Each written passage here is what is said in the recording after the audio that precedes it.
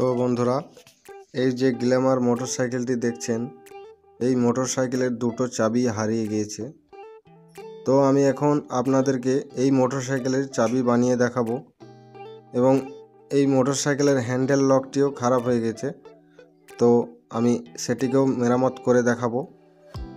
তো এর আগের একটি ভিডিওতে আপনাদেরকে দেখিয়েছি ত্রিশূল চাবি বানিয়ে।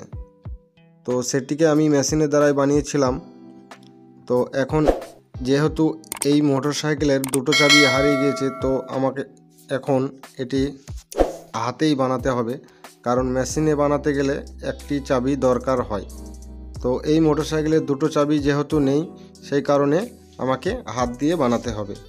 তো এখন আমি এই তালাটিকে পিস পিস করে খুলে নেব। তারপরে রেত দিয়ে ঘষে ঘষে চাবিটি আমি তৈরি করব।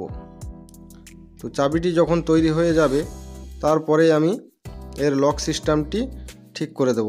আপনাদের যদি এই ভিডিওটি ভালো লাগে, তাহলে like, comment, share and subscribe করে নেবেন এবং পাশে থাকা বেল আইকনটি অবশ্যই অন করে নেবেন। তো যখনই আমি নতুন নতুন ভিডিও আপলোড করব, সকলের আগে আপনি ভিডিওটি নোটিফিকেশনে পেয়ে যাবেন। তো আপনি যদি আমার আগের ত্রিশূল চাবি বানানোর ভিডিও দেখতে চান, তাহলে উপরে আই বাটনে ক্লিক করলে আমার এই ভিডিওটি আপনি পেয়ে যাবেন। তো আপনিও চাইলে আপনার মোটর সাইকেলের চাবিটি আপনার মনের মতো ডিজাইন করে বানাতে পারেন।